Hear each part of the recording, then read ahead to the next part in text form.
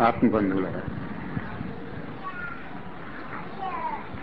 జ్ఞానం అనేది ఉందా లేదా? అసలు ఆత్మ వైభవం అనేది ఉందా లేదా? ఒక సత్పదార్థం ఉందని లేదా అనేది దానికి పుస్తకాలు చదవక్కర్లేదు రుజువు అక్కర్లేదు. గౌతమ బుద్ధుడు నేత్రాల్లో చూస్తే తెలిసి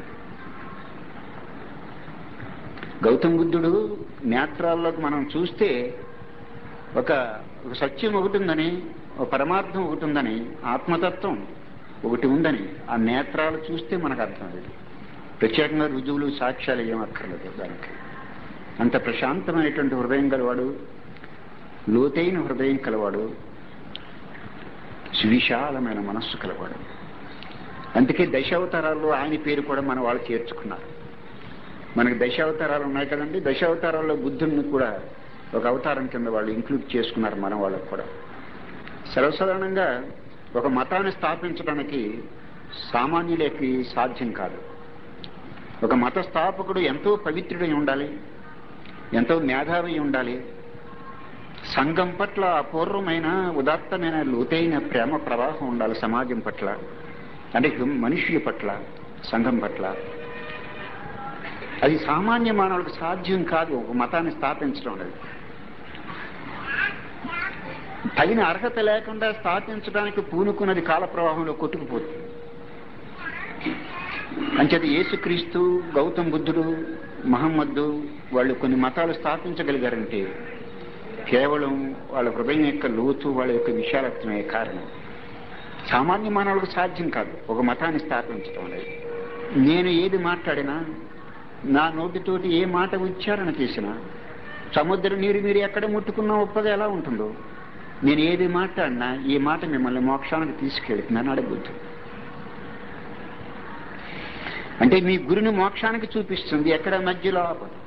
I'm high and I'm at the highest?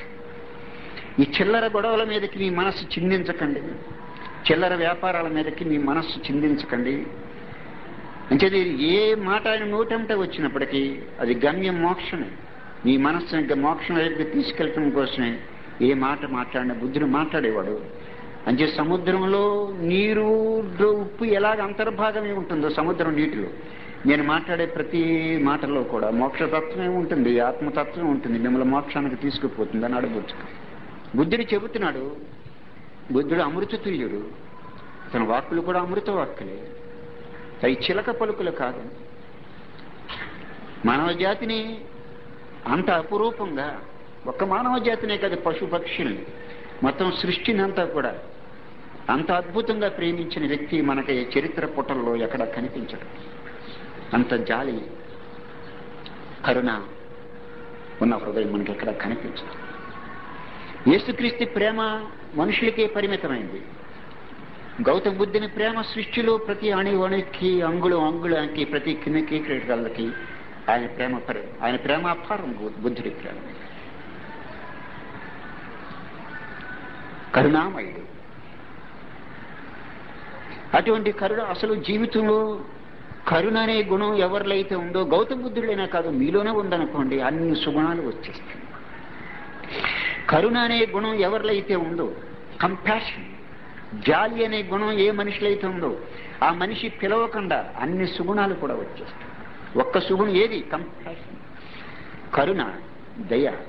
ఈ కరుణ అనే గుణం ఎవరిలో అయితే ఉందో మిగతా సుగుణాలన్నీ కూడా మీరు పిలవకుండా అన్ని వాట్లంతటా వచ్చి మీ హృదయంలో ప్రవేశిస్తారు. ఈ కరుణ అనే గుణానికి అంత గొప్ప శక్తి ఉంది. మిగతా సద్గుణాలని సుగుణాలని ఆహ్వానించి తనలో ఇమిడ్చుకునే శక్తి నిజమైన ధర్మం కరుణే. కరుణకి మించిన ధర్మాలు తన ప్రసంగ ధోరణను మార్చాడు బుద్ధుడు. తన నిర్వాణ స్థితిని గురించి చెప్పుకోబోతున్నాడు తన అమృత సందేశాన్ని ఆపు చేశాడు తను నిద్రపోతున్నాడు ఎదురుగుండా ఉన్న ఒక శ్రోత. తన దృష్టిని అతని మీద పారించాడు. అప్పుడు ఒక మాట అన్నాడు బుద్ధుడు. అతిగా తినేవాడికి అతిగా నిద్రపోయేవాడు పునర్జన్మ నుంచి బయటపడలేదు. అతిగా నిద్రపోయేవాడు అతిగా భోజనం చేసేవాడు ఎంత సాధన చేసినా సరే తిరిగి జన్మ రాకుండా చూసుకోలేడు తప్పనిసరిగా పునర్జన్మలో పడిపోతాడు. పునర్జన్మ నుంచి విడుదల పొందలేడు రీబర్త్ నుంచి విడుదల పొందలేడు. ఎవరు?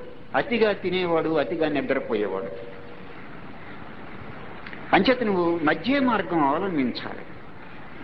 గౌతమ బుద్ధుడిది మధ్య మార్గం. బొత్తిగా ఉపవాసాలు వద్దు అతిగా తినవద్దు. ఉపవాసాలు పనికిరావు అతిగా తినవద్దు. యుక్తంగా తినండి. యుక్తంగా మాట్లాడండి. యుక్తంగా సరిపడి నిద్రపోండి. తీగిని బాగా లాగినా తెగిపోతుంది వదులుగా ఉంటే పాట పలకదు. అది సమానంగా మీ మనస్సు అనే తీగిని సమానంగా ఉంచుకోండి. అతి ఏ విషయంలోనే పనికి రాదు. అంచేత నువ్వు అతిగా భోజనం చేయొద్దు. నా బోధ విన్నా నువ్వెన్ని ఉపనిషత్తులు చదువుకున్నా ఏ సనాతన ధర్మాన్ని ఏ హిందూ ధర్మాన్ని అనుసరిస్తున్నప్పటికీ అతిగా మాట్లాడేవాడికి అతిగా నిద్రపోయేవాడికి అతిగా భోజనం చేసేవాడికి పునర్జన్మ నుంచి బయటపడలేడు అన్నాడు బుద్ధుడు. తదాగత మహానుభావ నాకు నిద్ర అనేది చాలా ఇష్టం భోజనం అనేది నాకు చాలా ఇష్టం. నాకు భోజనం అనేది నాకు చాలా ఇష్టం.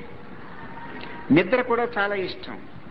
నాకు భోజనం చేయటం నిద్రపోవటం ఇదే నాకు జీవితంలో చాలా ప్రియాతి ప్రియం. జాగ్రత్తగా తినమని మీకు ముందు చెప్పే మాటలు కూడా విన్నాను. కానీ అదొక వాసన నాకు అతిగా తినటం అనేది వాసన. అతిగా తినటం అనేది విడిచిపెట్టలేను ఆచార్య అన్నాడు. అది కూడా ఒక వాసన. అప్పుడు ఈ సంఘటన చెప్పడం కోసం మీకు చెప్పటం లేదు. అప్పుడు గౌతమ బుద్ధుడు ఒక మాట అన్నాడు. నీకు మంత్రం చెప్తాను. ఆ మంత్రాన్ని నువ్వు జపించుకుంటూ ఉండు. వాళ్ళు ఎంత కరుణామయులో చూడండి. ఎవడో వాడికి అతిగా భోజనం చేస్తే మనకేమిటి అని అతన్ని కూడా ఉద్ధరించాలి. అతనితో పాటు మనతో పాటు తీసుకుపోవాలి నీకు మంత్రం చెప్తాను ఆ మంత్రాన్ని ఉచ్చారణ చేసుకో. ఆ మంత్రాన్ని ఉచ్చారణ చేయగా చేయగా నీకు అతి నిద్ర అతి భోజనం తగ్గుతుంది. సమాన స్థాయిలోకి వస్తావు సమస్థితిలోకి వస్తావు అన్నాడు. వాడు ఎంత స్వామరతనానికి అలవాటు పడిపోయాడంటే జీవితంలో?